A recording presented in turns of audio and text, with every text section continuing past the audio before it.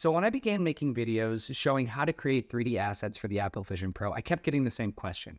How realistic does it look? So in this video, we're going to be diving into that. And we're going to be doing so because what that question is asking is actually, how real are the surface qualities of the object? Does the object actually look like wood or like metal or like glass or like plastic? And so what we're going to be doing is we're going to be diving into the individual components that make up those material qualities and really unpacking like how realistic we can get inside the Apple Vision Pro.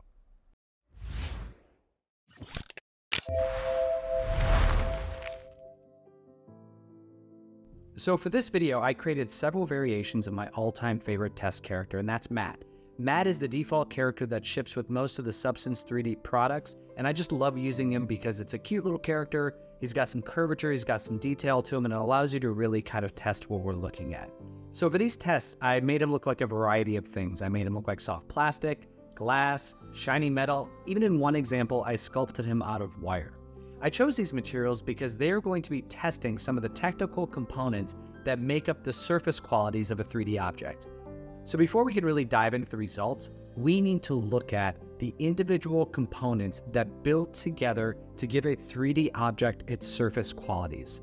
To begin, let's take a look at the PBR shading system that goes into creating these objects. So PBR stands for physically based rendering, and it's a system of creating these surface qualities out of a bunch of individual components that all combine together to mimic what is happening in the real world. There can be a lot of these individual components, but the basic ones are going to be very straightforward. There's base color, and that's exactly what it sounds like. It is the surface color of that object. Then there's roughness, how matte versus how smooth and shiny this surface is. There's metalness, and this is usually a binary because objects are generally either metal or they're not. So if it's metal, it goes to one. Everything else, whether it's wood or skin or glass, it all goes to zero. Then there are height or normal information that gives the micro details of a 3D surface. So these are like the little bumps, little indentions, the things that kind of give the object that kind of tactile quality to them. On top of those basic ones, there are some more that you should know about for our testing purposes today. First off, there's opacity for the wire mesh one. This one tells the object where there are things and where there's no things, right? So when there's an opacity there, it says, you know, there's nothing there. You can just completely bypass it and go straight through it. Additionally, there's translucency, which is slightly different. This is more for like glass materials. So within translucency, you can get things like absorption color. You can create some IOR, which is how the light refracts around inside the space. Then there is displacement, which is similar to height in that it adds the micro detail to the surface, but displacement goes a step further and it actually changes the geometry where height normals is more of an optical illusion. Then there's subsurface scattering. This is a simulation of light scattering once it hits the surface of an object. This usually comes up when you see light shining through an object. Think of the way that light interacts with your ear or like a gummy bear or like a Lego when there's a bright light source behind it. Then there's emission. This is light actually emitting out of the object through the surface quality. So think of a glowing light bulb or a firefly or something along those lines. There are more options than just what we're going to be looking at today, but these are the basic ones and will get you 99% of the materials and surface qualities that you're going to want to create.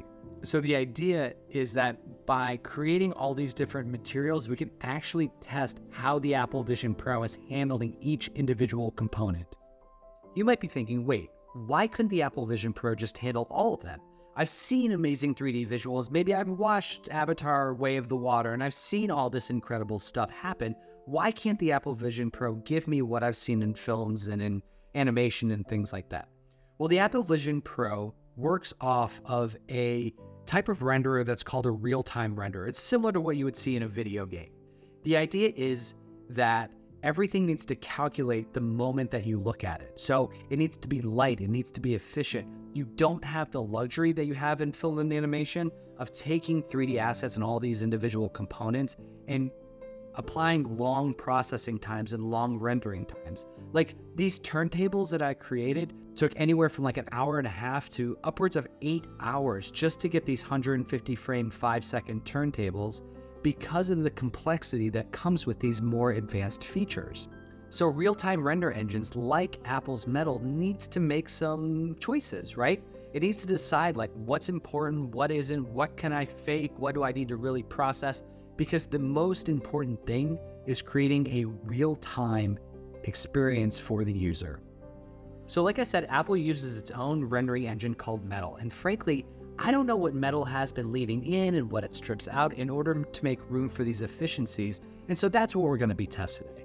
The other thing that I'm curious about is how lighting is handled inside the Apple Vision Pro. So traditionally with 3D, lighting is either handled one of two ways. The first is adding 3D lights. This is more like a, think of a dark theater stage.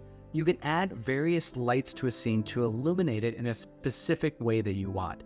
There are things like point lights and spotlights and area lights, and all these lights you can combine around the scene to give your object a specific look. Now, this doesn't always work that well for real time situations because, again, me, the person with the headset on, I can go anywhere. So having this like pre baked lighting thing doesn't exactly work out too well. So instead, a better system for real time render engines generally is HDRIs or image based lighting.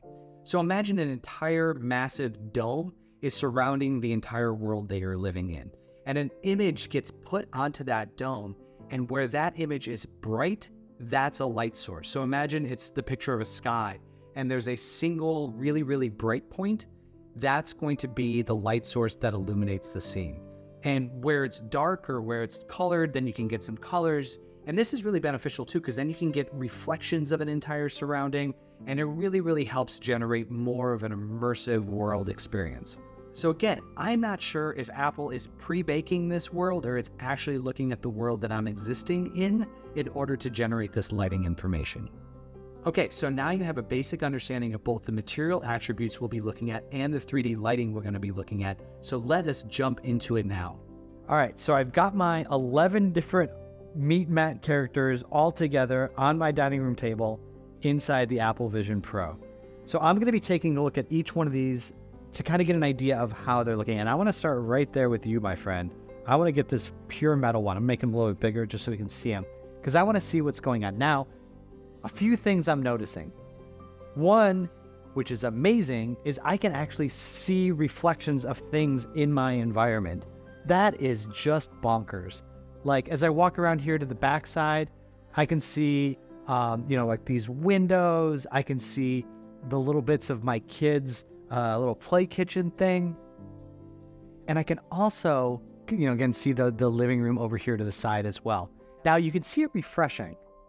I'm not quite sure what it's refreshing, or it's, I guess it's just like based on my movements or figuring it out. That's something I need to dive in a little bit deeper. Now, again, this is a perfectly pure reflection, so the the low resolution that we're seeing is actually coming from the environment map, not from the reflections in the object itself. So something worth noting. But this blew me away.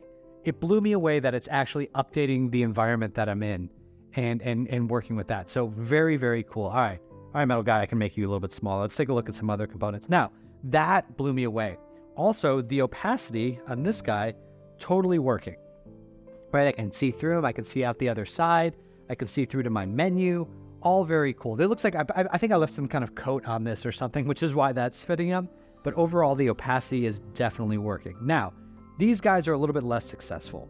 So we're going to take a look at this is the um, the plastic that was supposed to be like having a subsurface quality that like that soft plastically kind of look, um, and we're just not seeing that. Sorry, I talked too much with my hands and I'm going to spin these things around more than we want to. Same thing with the emissive. So this is actually this no, this is the glass one. This is the emissive one. Neither of those components are working. So emission, not no bueno. Uh, glass, translucency also doesn't work. Again, not a super deal breaker, but whoa, not a super deal breaker, but it definitely does it. This guy too. So this was showing more displacement when I was creating. So again, displacement, like, so this is, uh, height is, it appears like it's coming off of it. Displacement is actually displacing the geometry. And you can see up along here, and if I look down the side, you can see it's not actually popping out the way that it did in the render. So again, not a problem, but definitely something to be, be aware of. So those are some of the ones that didn't work. Some of the ones that did work really well. My goodness. Let's take a look at this guy.